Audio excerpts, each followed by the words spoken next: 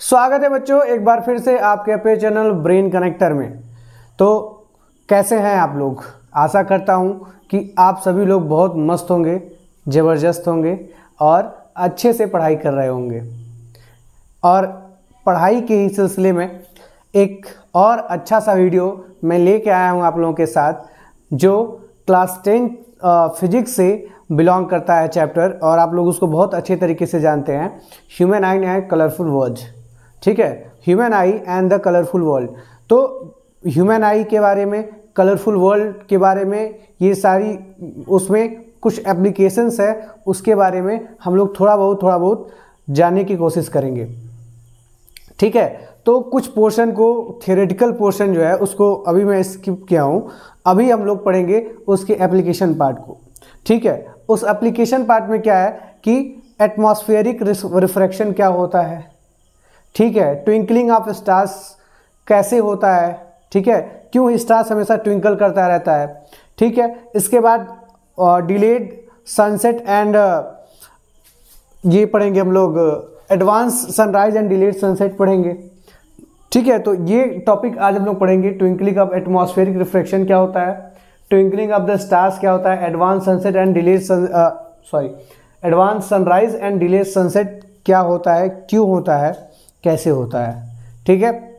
बने रहिए। बहुत ही कम समय में मैं आपको इस कॉन्सेप्ट को आपके दिमाग में उतारने की कोशिश करूँगा। ठीक है? चलिए, बिना देरी के शुरू करते हैं हम लोग इस टॉपिक को। तो सबसे पहले अगर हम लोग हेडिंग को देखें तो हेडिंग में ही लिखा हुआ है क्या? कि एटमॉस्फेरिक रिफ्रैक्शन ठीक है? इसका मतलब क्या हुआ? कि मतलब जो रिफ्रैक्शन एटमॉस्फियर के द्वारा हो, उसे हम लोग क्या कह सकते हैं? एटमॉस्फेरिक रिफ्रैक्शन ठीक है?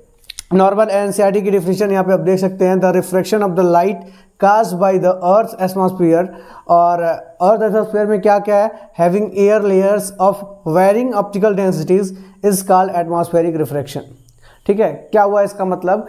कि जो भी एटमॉस्फियर के द्वारा रिफ्रैक्शन होता है, उसे हम लोग क्या कहते हैं? एटमॉस्फेरिक रिफ्रैक्शन और ये रिफ्रैक्शन होता कैसे? तो चलिए समझते हैं। देखिए, ये अपना क्या है? अर्थ है। ठीक है? अभी आप लोग रिफ्रैक्शन के बारे में आप लोग को आइडिया होगा ही क्योंकि रिफ्रैक्शन का ये क्या एक एप्लीकेशन है? रिफ्रैक्शन कहाँ होता है? Refraction rarer medium to denser medium में होता है। ठीक है? मान लीजिए ये कोई मीडियम है ये एयर है आप लोग पढ़े होंगे और ये क्या है आपका? आ, कोई भी आ, दूसरा मीडियम है ये मीडियम वन है और ये क्या? मीडियम टू मान लीजिए वाटर है। तो ये क्या है? रेयरर है और ये क्या है? डेंसर है। रेयरर कैसे है? इसके पार्टिकल्स दूर दूर हैं और डेंसर कैसे है? इसके पार्टिकल क्या है? क्लोजली पैक्ड है, ठीक है?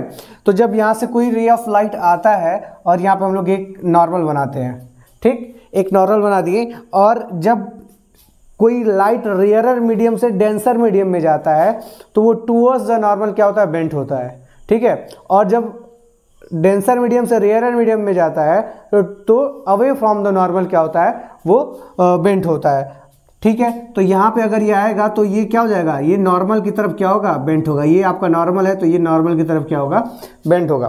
तो इसी को हम लोग क्या बोलते हैं? रिफ्रैक्शन ऑफ़ द लाइट ठीक है? जब भी कोई रे ऑफ़ लाइट रेयर मीडियम से आके डेंसर मीडियम में जाता है तो वहाँ पे क्या होता है? डाइवर्जन ऑफ़ द लाइट होता है, ठीक है? डाइवर्जन मतलब लाइट क्या होता है? मुड़ जाता है। किधर? नॉर्मल की तरफ़। तो उसी को हम लोग क्या कहते हैं? रिफ्रैक्शन ऑफ़ लाइट ऐसे ही ठीक प्रोसेस होता है। एक सोर्स है क्या? सन ठीक है? सन क्या है? Sun is a source of energy ठीक है? अब यहाँ से लाइट आता है। ठीक? अब क्या होता है कि ये जो हमारा एटमॉस्फियर है, ठीक है? तो ये क्या है? ये जब आप एटमॉस्फियर है तो ये एक, क्या बनाएगा आपका? चारों तरफ़ ये गैसेस से बना एक एटमॉस्फियर है। तो ये क्या डेंसर मीडियम है, ठीक है? अब गैसेस जैसे जैसे हम लोग अपने एटमॉस्फियर से मतलब जैसे अर्थ से ऊपर होते जाएँगे, वैसे ही आपको मतलब रेयर मीडियम मिलते शुरू होते जाएँगे, और एक वक्त ऐसा मिलेगा जहाँ पे पूरा वैक्यूम हो जाएगा।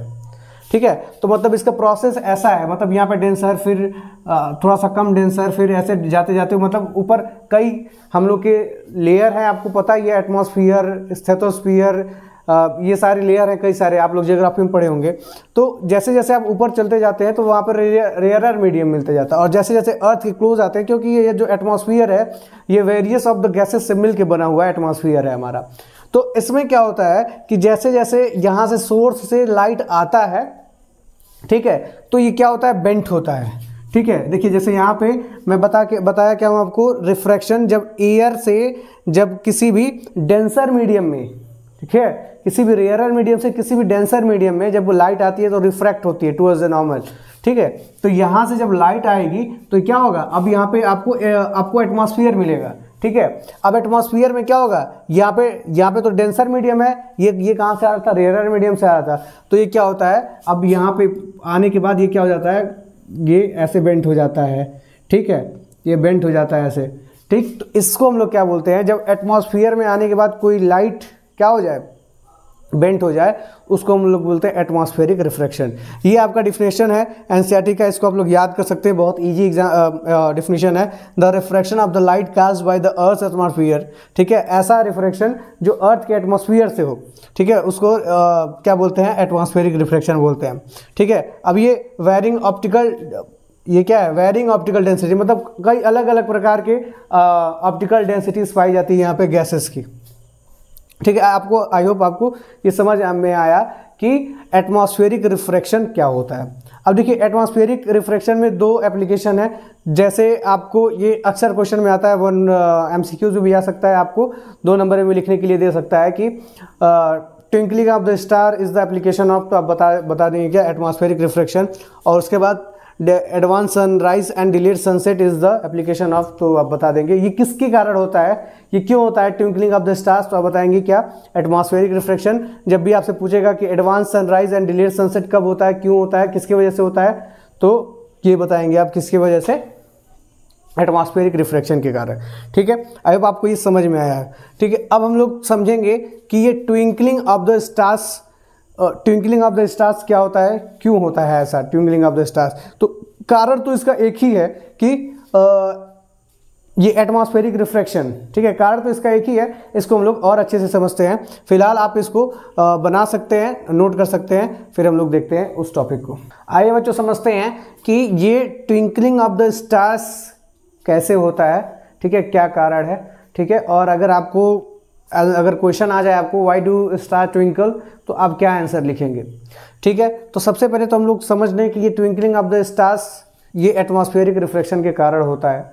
ठीक है? एटमॉस्फेरिक रिफ्लेक्शन के कारण मतलब आ, क्या चीज़ें होती हैं ये चीज़ हम लोग समझते हैं कि जैसे अगर एटमॉस्फेरिक रिफ्लेक्शन होता है जैसे आप लोग रिफ्लेक्शन जब पढ़े होंगे तो जब एक बाल्टी में आप एक लकड़ी को डालते हैं तो लकड़ी क्या टूटी हुई दिखाई देती है। ठीक है? जब एक कॉइन को डालते हैं तो वो कॉइन अपने जो पोजीशन उसका रियल पोजीशन होता है, वो बाल्टी में ऊपर दिखाई देता है। ठीक है, ये सारी चीज़ें जो, और डेली रियल लाइफ की चीज़ें हैं, वो आप लोग ज़रूर ऑब्ज़र्व किए होंगे। ठीक है ऑब्ज़र्व सॉरी तो ऑब्ज़र्व जब किए तो आपको पता लगा कि जब रिफ्रैक्शन होता है तो क्या होती है, जो चीज़ें होती हैं, वो क्या अपने पोजीशन से क्या हो जाती हैं? हट जाती हैं, कहीं और दिखाई देती हैं। ठीक है, जैसे क्वाइन बाल्टी में नीचे होता है बिल्कुल तल में, लेकिन वो ऊपर दिखाई देता है। लकड़ी क्या टूटी हुई दिखाई देती है। वैसे ही यहाँ पे जो सन होते हैं, या फिर स्टार्स होते हैं, वो अपनी पोजीशन से क्या हो जाते हैं? कहीं और दिखाई देते हैं। मतलब अगर सन यहाँ पे है तो दिखाई कहाँ देता है? यहाँ पे दिखाई देता है। ठीक है स्टार अगर यहाँ पे है, देखिए स्टार अगर यहाँ पे है तो दिखाई कहाँ दे रहा है? यहाँ पे। तो ये इसका एपरेंट पोजीशन है और इसका क्या रियल पोजीशन जो स्टार जो स्टार है, उसका रियल पोजीशन ये है। ये इसका सन का क्या ओरिजिनल पोजीशन है और ये क्या अपरेंट पोजीशन देखिए हम लिखा हुआ apparent position of the sun तो ये तो आप समझ गए कि कैसे होता है, क्योंकि जब रे ऑफ़ लाइट क्या होता है? जब रे ऑफ़ लाइट यहाँ से जब आता है सन का तो ये एटमॉस्फेरिक रिफ्लेक्शन के कारण क्या होता है? वो अपना पाथ जो है, वो डाइवर्स कर लेता है, ठीक है? अब जैसे ही उसका पाथ डाइवर्स होता है, वो यहाँ पे आ जाता है। अब यहाँ पे आदमी अगर कोई खड़ा है तो ये तो हम लोग जान, ये तो हम लोग को पता है कि जो रे ऑफ़ लाइट है, वो हमेशा स्ट्रेट लाइन में चलता है। ये हम लोग को तो यही पता है।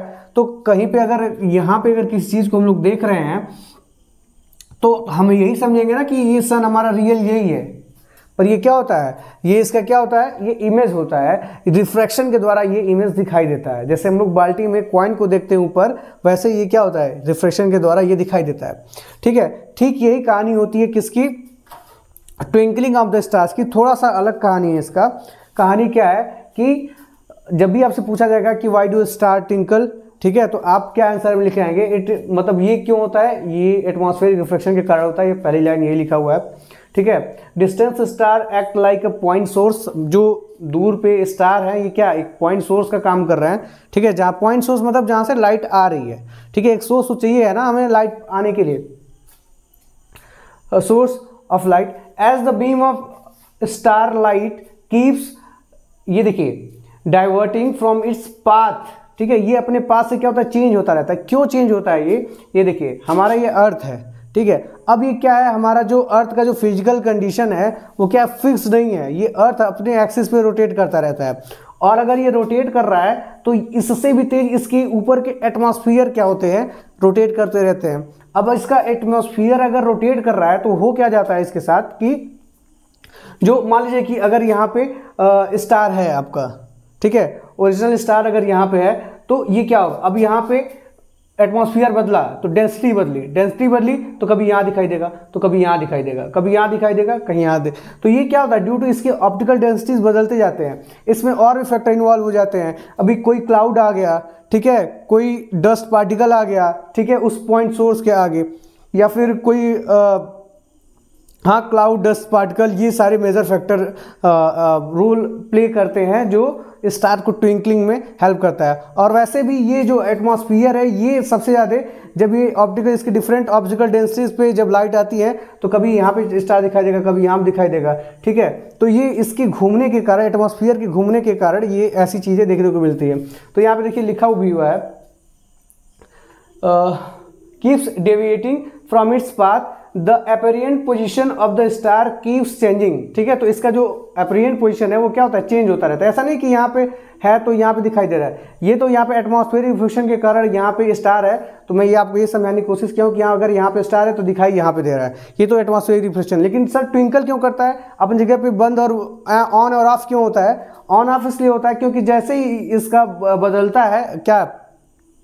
इसका जो एटमॉस्फियर है, ये भी क्या करता है? घूमता है। तो एटमॉस्फियर के घूमने से क्या होता है? इसके रास्ते में, जो लाइट के रास्ते में है, काफ़ी सारे अर्चन आ जाते हैं। अर्चन मतलब बाधा आ जाते हैं। और जब बाधा आता है तो ये क्या होता है? अपने पोजीशन पर कभी दिखाई देता है, कभी नहीं दिखाई देता है। कभी दिखाई देता है, कभी नहीं दिखाई देता है। तो इस वजह से चेंज हो जाता है। तो देखिए, यहाँ पे मैंसन भी है कि keep changing because physical condition of the earth atmosphere क्योंकि इसका फ़िज़िकल कंडीशन अर्थ एटमोसफियर का ऐसा ही है इज़ नॉट स्टेशनरी ये फिक्स नहीं है। Hence the amount of light enters our eye तो जो भी अमाउंट ऑफ़ लाइट हमारे आँखों में आता है fluctuate sometimes bright and sometimes dim ठीक है? तो कभी कभी ब्राइट दिखाई देता है कभी कभी डिम दिखाई देता है। This is twinkle effect of the stars तो ये क्या है? Twinkle effect of the stars है। ये हमारे एटमॉस्फेरिक रिफ्लेक्शन के कारण होता है और एटमॉस्फेयर में जब अर्थ अपने एक्सिस पे रोटेट करता है तो उसके साथ साथ उसके सराउंडिंग्स भी, उसके एटमॉस्फेयर भी रोटेट करते हैं और due to different different optical densities of the atmosphere uh, light uh, deviated its path and when the light deviated its path then it appear sometime bright and sometime dim. Okay? तो यहाँ पे light आता है और उसके बाद क्या होता है? ये अपनी जगह पे ही मतलब वो तो सन स्टार तो जहाँ पे है स्टार यहाँ पे है। ठीक है? पर हमें दिखाई यहाँ पे दे रहा है क्योंकि हमें हमेशा ये तो हमें तो ये नहीं पता है कि अगर यहाँ से रिफ्लेक्शन हुआ है तो यहाँ पे लाइट गई यहाँ पे रिफ्लेक्शन हुआ तो यहाँ पे लाइट गई यहाँ पे। ठीक है? तो हमें क्या पता लग रहा है? ये लाइट तो ऐसे आ रही है, यहाँ पे स्टार यहाँ पे है। तो ये स्टार यहाँ पे है, और अगर हम यहाँ पे हैं तो ऐसे अगर लाइट आएगी तो हम क्या मानेंगे? कि लाइट कर्व होती है। लाइट कर्व तो चलती नहीं है तो हम क्या मानेंगे? कि लाइट सीधे आती है तो मतलब स्टार यहाँ पे है। ठीक है तो हमें यहाँ पे दिखाई दे रहा है, क्योंकि हम लोग ये जानते हैं कि लाइट जो है वो स्ट्रेट लाइन में ही ट्रेवल करती है। तो हमको तो लगा यहाँ पे है तो यही कारण होता है यहाँ पे कि ये अपेरियंट पोजीशन पे कभी दिखाई देती है। ये डिफरेंट सबसे मेन रोल जो प्ले करता है, वो क्या करता है हमारा जो एटमॉस्फेयर जो इसकी ऑप्टिकल डेंसिटी है, इसकी वजह से क्या होता है, ये twinkling of the stars happen होता है। ठीक है तो आई होप आपको ये समझ में आया कि क्या होता है कि ट्विंकलिंग ऑफ़ द स्टार्स किसे कहते हैं और कैसे इसका हम लोग आंसर लिखेंगे। अच्छा क्वेश्चन है, हमेशा पूछा जाता है तो इसको आप लोग ज़रूर प्रिपेयर कर लेंगे कि ऐसा क्यों होता है। अब हम लोग देखेंगे क्या advance sunset and delayed advance sunrise and delayed sunset आइए बच्चों, समझते हैं कि advance sunrise and delayed sunset क्या होता है, कैसे होता है। तो एडवांस सनराइज मतलब पहले एडवांस क्या होता है, पहले ही। पहले ही सूर्योदय हो जाना और डिलेट सनसेट मतलब बाद में सूर्यास्त होना, ठीक है? मतलब जो सन है, वो बाद में डूब रहा है और सुबह में क्या पहले ही निकल जा रहा है। ऐसा क्यों हो रहा है? और क्या होता है, ये बातें हम लोग समझेंगे।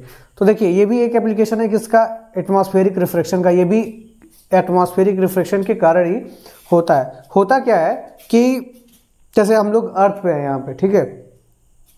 अब ये क्या है हॉरिजॉन है? हॉरिजॉन मीन्स क्या होता है? क्षैतिज स्थल होता है। जैसे हम लोग देख रहे हैं, ये हॉरिजॉन है। जैसे आप लोग कभी ऑब्ज़र्व ऑब्ज़र्व किए होंगे कि आप देख रहे हैं और आसमान ख़त्म हो रहा है और वहाँ पे धरती मिल रही है। जब आप दूर तक प्लेन एरिया को देखेंगे, जैसे आप समुद्र वगैरह की तरफ़ देखेंगे तो देखेंगे कि समुद्र जो है, और आकाश जो है, वो समुद्र में आके मिल रहा है। तो ऐसे तल को क्या बोलते हैं? हर्जन बोलते हैं। मतलब आप हर्जन मतलब ये समझ लीजिए कि आप ऐसे देख रहे हैं तो आपके देखने में जो प्लेन एरिया है, उसको क्या बोलते हैं? हर्जन बोलते हैं। छैतीस तल होता है। हर्जन मीन्स अब देखिए सन क्या है? अभी यहाँ पे है। ठीक है? सन क्या है? यहाँ पे है। और यहाँ पे हम लोग हैं। तो यहाँ पे क्या है? इसके चारों तरफ़ एटमॉस्फियर है। ठीक है? और एटमॉस्फेरिक रिफ्रैक्शन के कारण जो यहाँ पे लाइट आ रही है, वो यहाँ से क्या हो रही है? रिफ्रैक्ट होके हमारी आँखों तक आ जा रही है। ठीक है? ये रिफ्रैक्ट होके लाइट हो कहाँ आ जा रही है? हमारे आँखों तक आ जा रही है।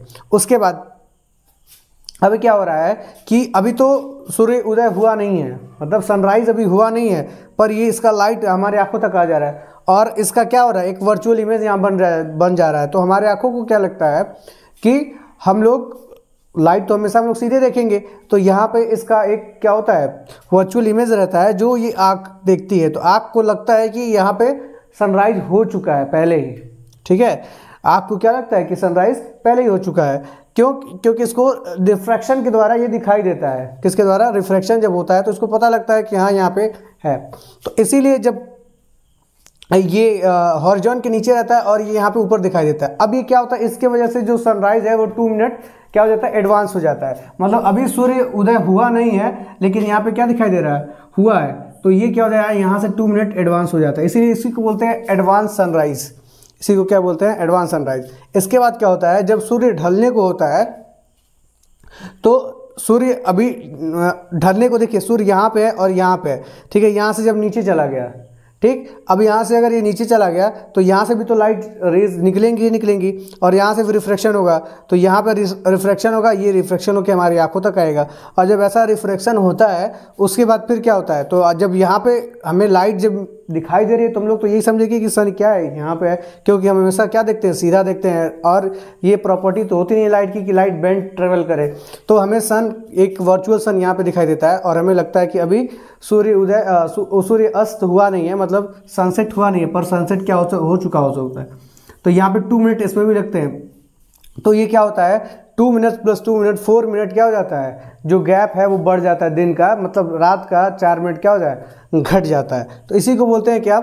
Advance sunrise and delayed sunset यहाँ पे लिखा भी होगा actual sunrise happens when the sun is below the horizon in the morning ठीक है? ये हॉर्जिन के नीचे रहता है लेकिन फिर भी क्या पता लगता है कि उदय हो चुका है। The rays of the light from the sun below the horizon reach our eyes because of the refraction of the light similarly the sun can be seen few minute after the actual sunset तो मतलब उसी property के हिसाब से ये जो अगर यहाँ पे सन है तो एटमॉस्फेरिक रिफ्लेक्शन के कारण ही दो मिनट लेट तक हम लोग को दिखाई देता है। Sunset thus the duration of the day time increase by four minute तो इस तरह से जो ड्यूरेशन है डे टाइम का, वो क्या होता है? चार मिनट बढ़ जाता है। तो ये एप्लीकेशन से किसके? ये आप, अगर आपसे कोई पूछेगा कि why the advance sun rises and delay sunset happen तो आप ये आंसर लिख सकते हैं और ऐसे आप फिगर बना के उसको समझा सकते हैं कि ये ये कारण है जिसकी वजह से ये चीज़ें होती हैं। आप, आपको ये समझ में आया कि एटमॉस्फेरिक रिफ्लेक्शन क्या होता है? उसके बाद ट्विंकलिंग ऑफ़ द स्टार्स क्यों होता है, कैसे होता है, और ये advance sunrise and delayed sunset क्यों होता है? तो ये आपको पसंद आया हो, अगर वीडियो तो ज़रूर इसको लाइक करिए, अपने फ्रेंड्स को शेयर करिए। बहुत ही कम समय में मैं अच्छे तरीके से समझाने की कोशिश किया हूँ। और और अगर आप लोग सपोर्ट करेंगे तो ऐसे ही वीडियो बनते रहेंगे। सपोर्ट के लिए कुछ नहीं करना है, बस आपको वीडियो को देखना है और शेयर करना है। ठीक है थैंक यू वेरी मच फिर मिलते हैं नए वीडियो में।